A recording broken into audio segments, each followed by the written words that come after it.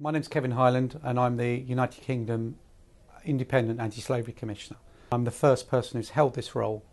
and uh, coming here to Vienna is very timely because it's only last Thursday that the uh, Modern Slavery Act received royal assent from Her Majesty the Queen. Um, so coming here today and meeting up with uh, rapporteurs or coordinators from across uh, Central Europe and uh, other parts of the uh, European community is, is really essential and it's about bringing together relationships so that we can come together uh, and in our roles as coordinators or in my case as the commissioner uh, we can come together to, to, to take this forward